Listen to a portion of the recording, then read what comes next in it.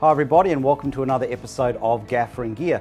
Today I'll be doing a review on the Sola 6 Plus which is a daylight LED Fresnel made by Litepanels and I'll be comparing it to an old school 575 HMI Fresnel.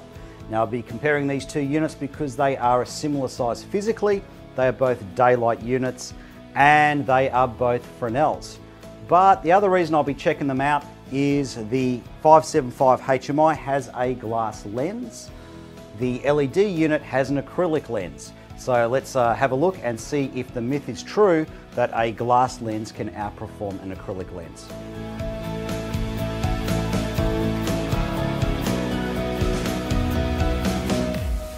All right, so let's start off the review by talking about the price. And if you're looking to be an owner operator, this will probably scare you off.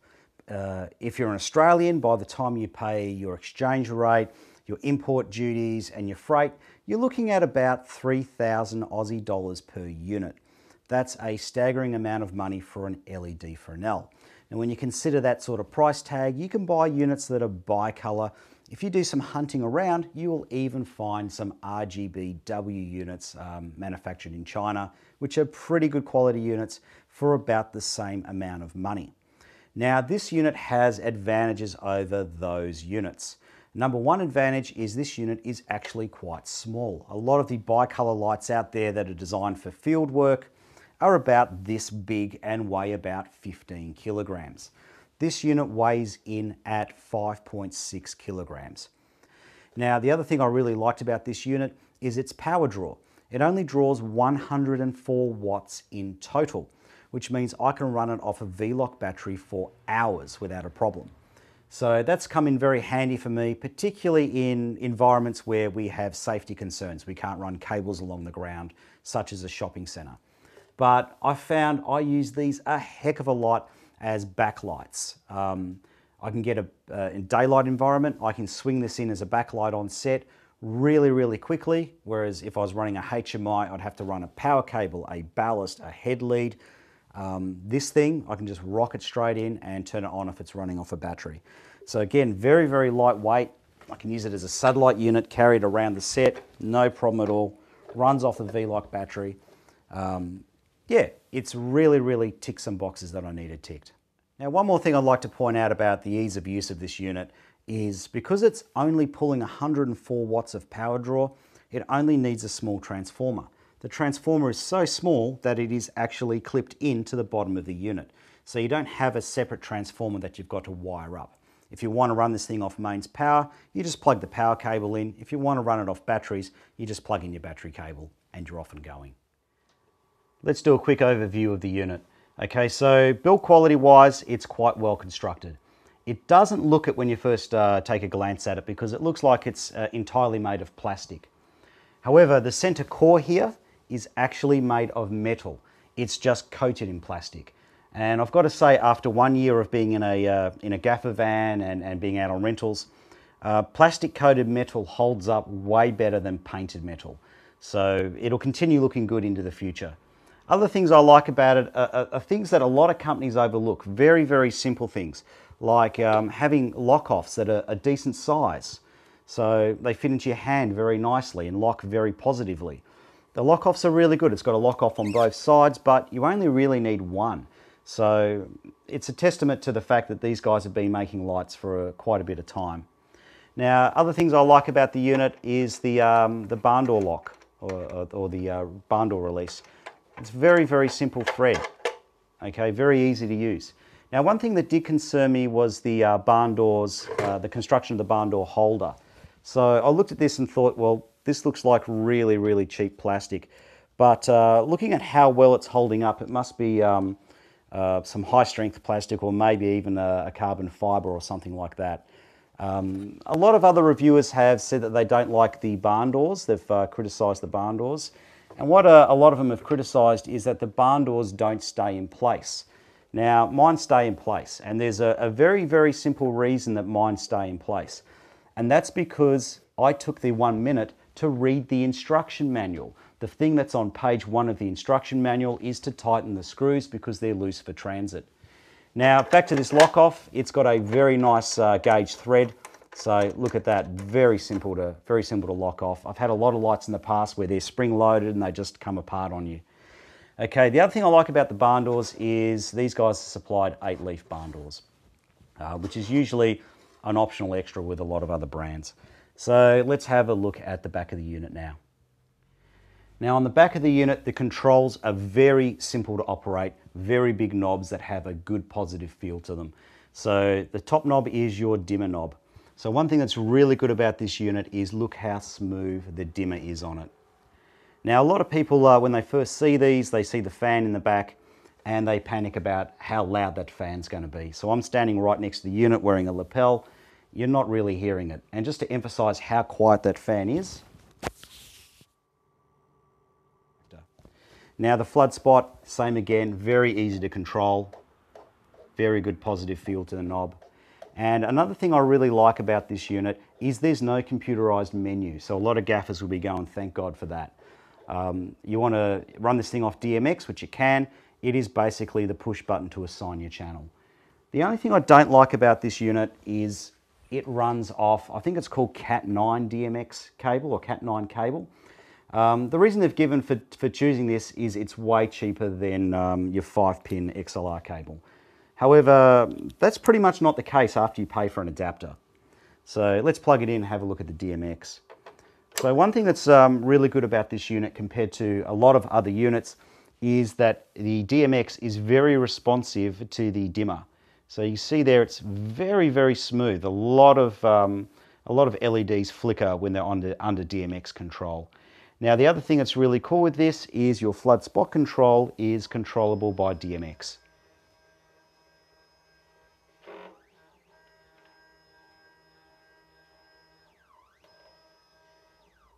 Now one thing I forgot to mention with DMX is when you've got an active DMX signal coming in, the power light flickers to indicate that DMX is present. Now, like a lot of LED Fresnels, this unit does have some fraying on the edge of the beams. So in case you're not seeing it too clearly, the fraying is from there to there, so that bit there, and the same on the other side. So there is a bit of colour fraying.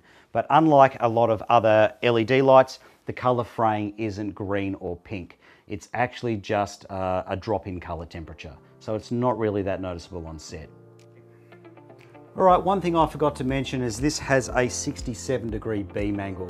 Now that the light's off, you can see on the edge of the beam, you can see the colour fraying. So it's a bit more clear, it's a bit more evident that it's there.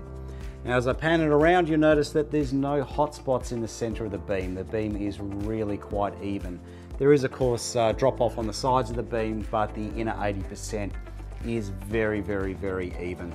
Let's have a look at our barn door cuts. You see the barn door cuts are very, very crisp, as you'd expect from a real Fresnel. Very, very crisp indeed. Let's have a look at our shadow qualities.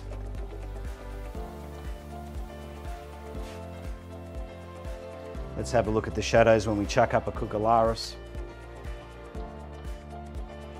And now let's have a look at the spot, at the uh, flood spot capability of the unit.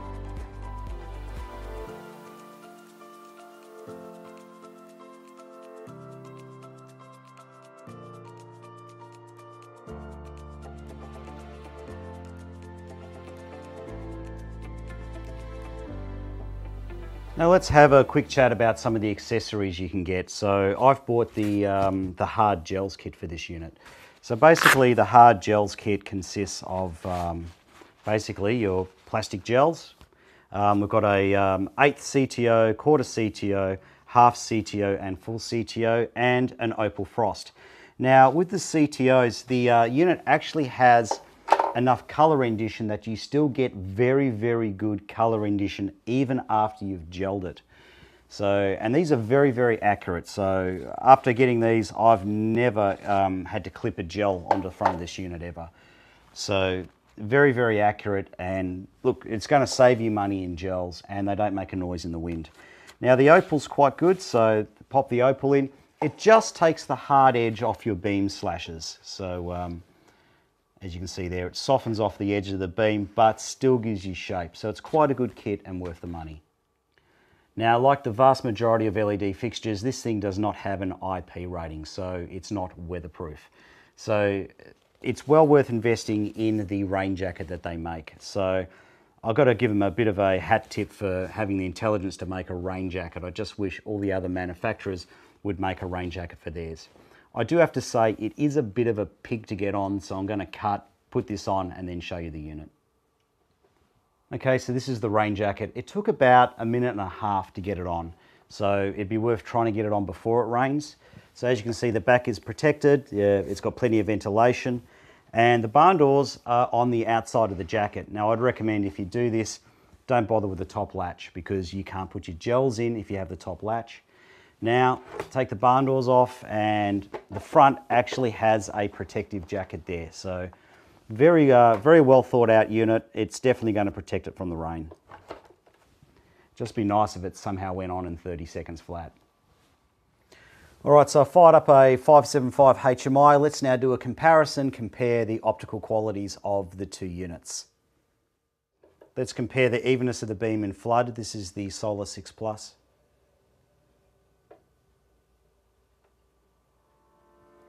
This is the 575 HMI Fresnel with the glass lens. I don't know if you can see it, but there's a little bit less colour fraying on the edges of the beam, but there is definitely a hot spot in there where you can see the globe.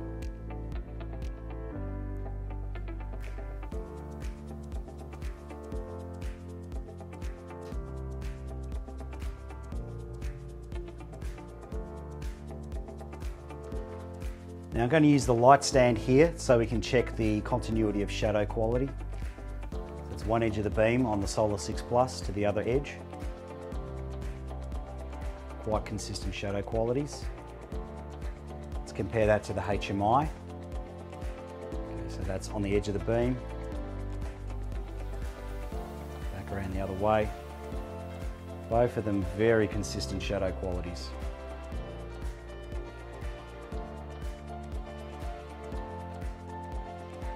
Is how both units compare with the barn doors boxed up. Okay, so what I've done here is try to create the finest slit I can with the barn doors. So this is as narrow a slit as I can create with either light with their barn doors.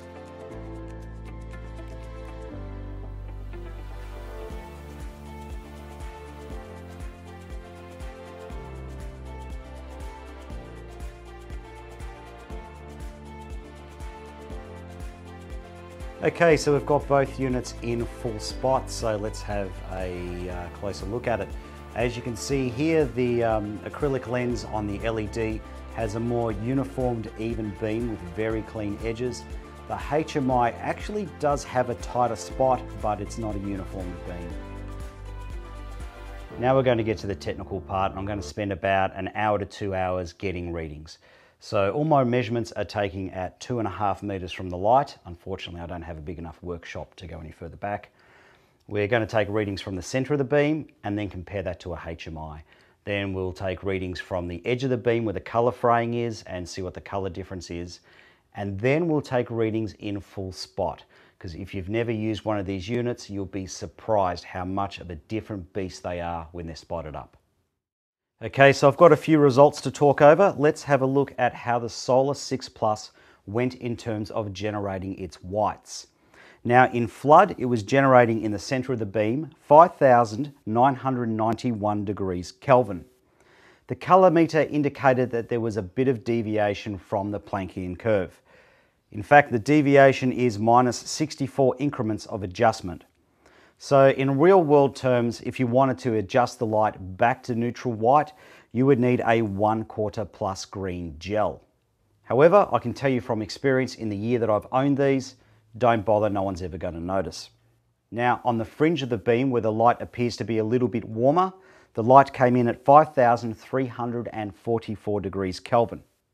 Now in spot, the Sola 6 Plus comes in at 5,811 degrees Kelvin.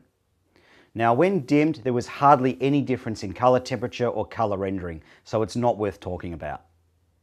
Okay, so during the testing, you might have noticed that the HMI was appearing a bit blue. Now the HMI was actually reading 6,499 degrees Kelvin. Now, personally, I think this is a bit high, but in the last year, I've noticed that when I get new HMI globes, they tend to be around the 6,500 degree Kelvin mark which means I'm having to CTO them to get them back to about 5,600 degrees Kelvin. And that's the real reason I'd say that the Sola 6 Plus generates better whites.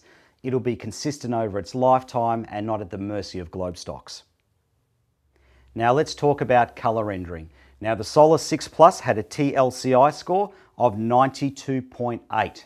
That's a really good score for an LED. The TM30 test indicates that a more realistic score would be 89.6. Now in comparison, the HMI had a TLCI score of 94.2.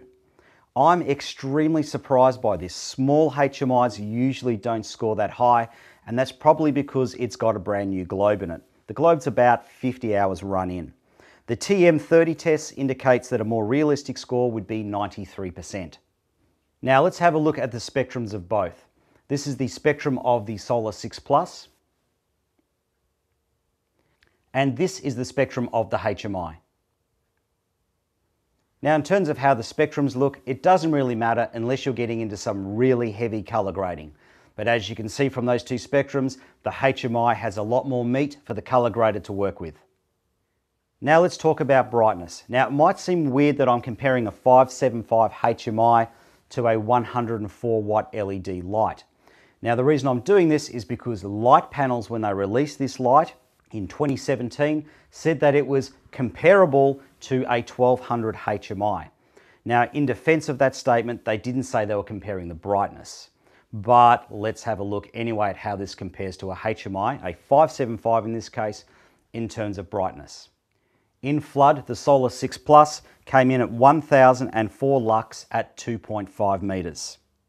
In flood, the HMI came in at 2598 lux.